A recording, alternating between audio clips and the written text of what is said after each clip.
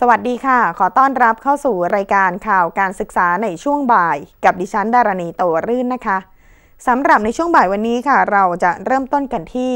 คณะวิทยาศาสตร์ มหาวิทยาลัยมหิดล ได้จัดงานวันคล้ายวันสถาปนาครบรอบปีที่ 60 ค่ะ ซึ่งภายในงานนะคะก็มีการเสวนาพิเศษในหัวข้อ ทวนอดีตมองปัจจุบันเพื่อก้าวสู่อนาคตค่ะ รองศาสตราจารย์ ดร สิทธิวัฒน์เลิศสิริ คณะบดีคณะวิทยาศาสตร์ มหาวิทยาลัยมหิดลได้ระบุว่า ตลอดเวลา 60 ปีที่ผ่านมา นับจากที่เริ่มก่อตั้งในฐานะโรงเรียนเตรียมวิทยาศาสตร์การแพทย์ ในราชกิจจานุเบกษา ปี 2501 เพื่อจัดการศึกษาเตรียมแพทย์ และเตรียมประเภทวิชาอื่น ๆ ขึ้น ในมหาวิทยาลัยแพทยศาสตร์ และต่อมาได้รับการยกฐานะ เป็นคณะวิทยาศาสตร์การแพทย์ พัฒนาศักยภาพด้านการเรียนการสอน และการทำวิจัยที่ได้รับการสนับสนุนจากภาครัฐในด้านต่างๆ จนกระทั่งสามารถเป็นฐานปฏิบัติการวิจัยที่สำคัญที่สุดของประเทศ และภูมิภาคค่ะ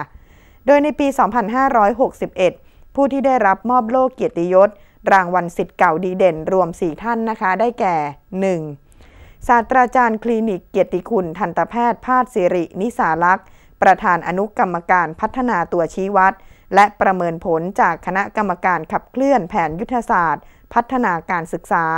สำหรับบุคลากรด้านสุขภาพ ในศตวรรษที่ 21 2. ศาสตราจารย์เภสัชกร ดรมนทน สงวนเสริมศรีอธิการบดีมหาวิทยาลัยพะเยา รักษาราชการผู้อำนวยการศูนย์การแพทย์ และโรงพยาบาลมหาวิทยาลัยพะเยา 3. ศาสตราจารย์ ดร อมรรัตน์พงดารา คณะบดีคณะเทคนิคการแพทย์ และอาจารย์ประจำภาควิชาเทคโนโลยีชีวภาพ และชีวสารสนเทศ คณะวิทยาศาสตร์ มหาวิทยาลัยสงขลานครินทร์และ 4. นายแพทย์พงพัฒน์ประธานนวนิชประธานกรรมการบริหารและกรรมการผู้จัดการบริษัท โรงพยาบาลมหาชัยจำกัดมหาชน นายกสมาคมโรงพยาบาลเอกชนค่ะ นอกจากนี้นะคะยังได้มอบเกียรติบัตรเชิดชูเกียรติให้กับอาจารย์ ผู้ปฏิบัติงาน สายสนับสนุน และนักศึกษาที่ได้รับรางวัลการเชิดชูเกียรติในระดับชาติ และนานาชาติในปี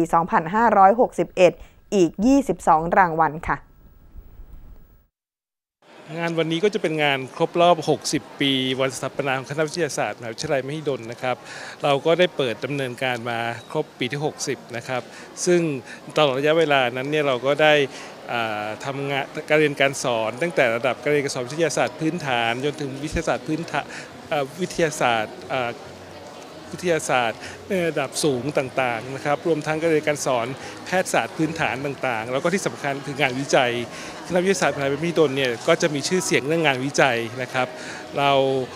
ถือว่าเป็นคณะวิทยาศาสตร์ที่มีวัฒนธรรมประจำองค์กรที่สำคัญมากคือการทำงานวิจัย เราทำงานวิจัยในเชิงลึกนะครับ ซึ่งงานวิจัยในเชิงลึกเนี่ยก็เป็นรากฐานสำคัญของการสร้างนวัตกรรมต่อมานะครับ ดังนั้นเนี่ย คณะวิทยาศาสตร์ของเราเนี่ยก็ได้รับใช้สังคมตอบโจทย์สังคมตลอดระยะเวลา 60 ปี และจากนี้ไปเราก็มั่นใจว่าเราสามารถที่จะทำให้เป็นแรงหนึ่งเป็นจักรกลหนึ่งในการผลักดันสังคมให้ก้าวหน้าต่อไปครับก้าวต่อไปจากปีที่60มีแนวทางมีมุมมองอะไรเพิ่มเติมไหมคะครับ จากนี้ไปเนี่ยคณะวิทยาศาสตร์เนี่ยจะต้องทำให้สังคมเนี่ยประจักษ์ถึงความสำคัญของวิทยาศาสตร์ และ งานวิจัยทางวิทยาศาสตร์นะครับ